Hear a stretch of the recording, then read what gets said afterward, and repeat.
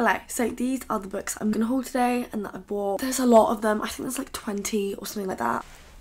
Okay, it's 18 books. So if I quickly let you know how much I've spent, I think I spent £15 in one place and a fiver in another, roughly. Basically, I went to Winchester, which is where Jane Austen died and was buried. Winchester is so, so, so pretty and surprisingly hilly. We went to so many cute places. So I think when we got there, I went to this place called something Orangey, Orangery. It was this cute little cafe place. And so we went there like what, like 10ish or something like that and I had this gorgeous. You know like a full English breakfast? It was like a full Turkish breakfast. It was so yummy. So it was like this like pita bread with like Greek yogurt and like herbs and stuff like smeared on it. And then I had like a bunch of lettuce and like salad two poached eggs and then like a bunch of like it's a Turkish meat but I'm not sure what kind of meat it was. I had a little hot chocolate with whipped cream on it. And then we went looking around all the charity shops. I can't remember how many books I found there. And then whilst I was in that I found a bunch of Agatha Christie books but they were really ugly.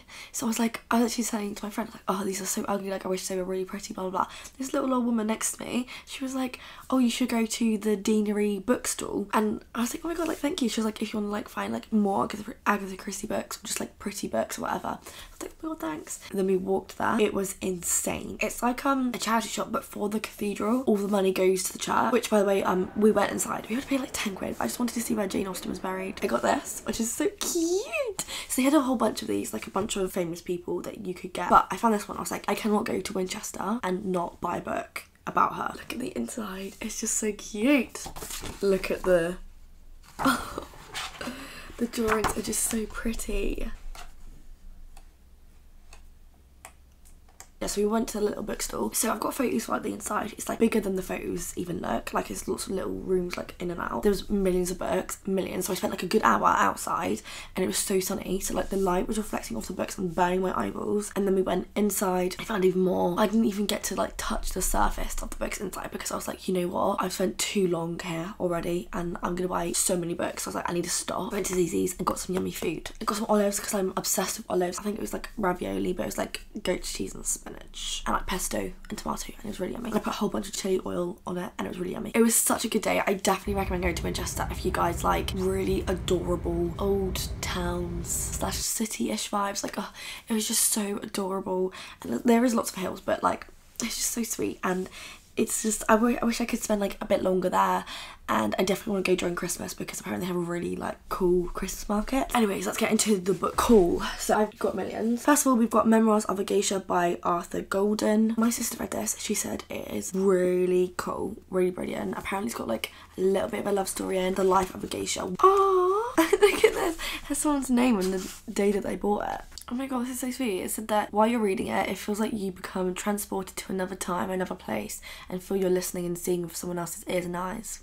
The Night Circus by Erin Morgenstern. This, I don't even know what it's about. The circus arrives without warning, no announcements precede it. It's simply there when yesterday is not. I think it's a love story. It's just about circus. And I read one book that was set in a circus and I loved it because I just thought being in a circus is so cool. Like the sense of like family that you get. Like a really fun story to read about. So I'm excited about this because like everyone's read it and apparently it's really good. So next up I found this really gorgeous book.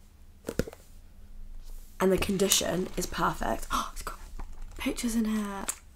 This is The Five Orange Pips and Other Cases by Arthur Conan Doyle, which is basically the guy who writes Sherlock Holmes books. I think he's got a bunch of different cases in here. Got lots of different cases in here.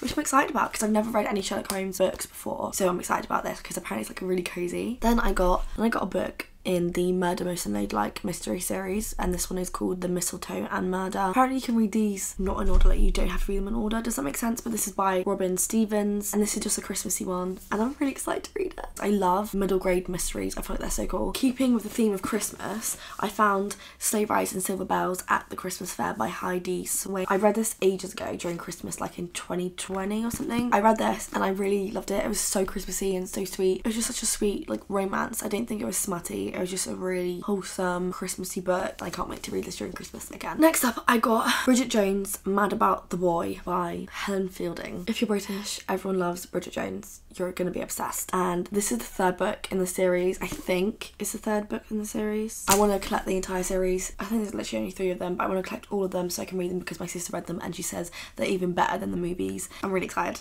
Okay, just really quickly, I'm throwing in this one because I didn't exactly haul it. I found it downstairs. My mum kept lots of books that I read when I was younger, and so this was one of them. And I love Fantastic Mr. Fox the movie so so much. It's gonna give me all the nostalgia, so I'm excited for it. This again, I got charity shopping. Yeah, so I'm excited for this one. It's just about a big friendly giant. The movies look so cool. They just look so nostalgic, even though I've never watched it. Does that make sense? Like it just looks like a bedtime story. Next up, I've got Educated by Tara Westover, which is basically a memoir, like biography about her life. All I know is that she lived quite a crazy life. I think she was a Mormon. Her dad was very paranoid and like heavily religious. It's just basically going through that and how that affects her life, I think. Yeah, it says her family grew up prote- preparing for the end of days. Oh, I didn't realise this. And she had no school records, no birth, birth certificate because she never set foot in a classroom, no medical records because, because her father didn't believe in hospitals. My sister read this and she said she really enjoyed it. So I'm excited to read it because I trust what she says. Two John Green books. I've got The Fault in Our Stars, which I read ages and ages ago when I first started reading. And I want to reread it again and see if I like it because I can't even remember what I thought about it last time. I just think it's really cute. Then I've got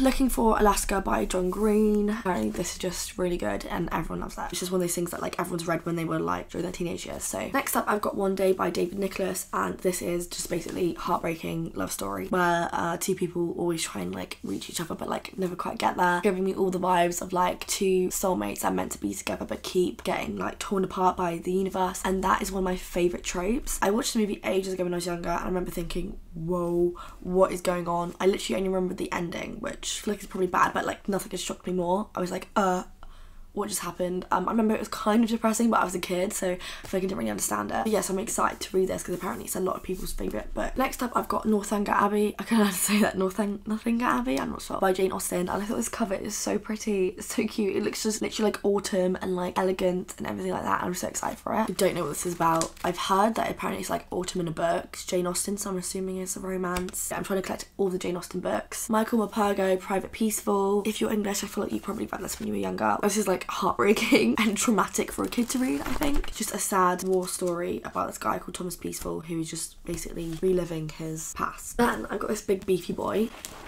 which is called The Blind Assassin by Margaret Atwood. Now, I've read The Handmaid's Tale. I thought that was really insane. It really got out the feminist in me. I love the writing, but I feel like it just didn't give me that, like, wow. So I'm hoping this will because apparently everyone just loves her writing. Plus, this story sounds really cool. I'm just gonna read you the blurb because that's all I know. I've just read the blurb. So it says 10 days after the war ended, my sister Laura drove a car off a bridge. More than 50 years on, Iris Chase is remembering Laura's mysterious death. And so begins an extraordinary and compelling story of two sisters and their secrets, set against a panoramic panoramic backdrop of 20th century history. Blind Assassin is an epic tale of memory, intrigue, and portrayal. So that just sounds so cool. And mix that in with Margaret Atwood's feminist outlook, and oh, I'm so excited for it. Um, then I've got a really random book pick that I'm not as excited for, but like I've heard people talk about it, read the blurb, and I thought it seems alright. And The Adventures of Huckleberry Finn by Mark Twain. This cover's like not cute, but I've heard some people say this is a really easy read if you want to try and get into classics. About this guy called Huck Finn and he escapes from his alcoholic father by faking his own death, which sounds cool, and so begins his journey through the deep south seeking independence and freedom. On his travels, Huck meets an escaped slave, Jim, who's a wanted man, and together they journey down the Mississippi River, raising the timeless and universal issues of prejudice, bravery, and hope. So that is what got me. Timeless and universal issues of prejudice, bravery, and hope. That just that's gonna make you cry. Open your eyes up to prejudice that used to happen in those days. We've got a slave, we've got a boy who's been abused, and I feel like it's just gonna be all of the history, all the sadness, all of like the shocking, horrible racism. this is cool. So says notice. Persons attempting to find a motive in this narrative will be prosecuted.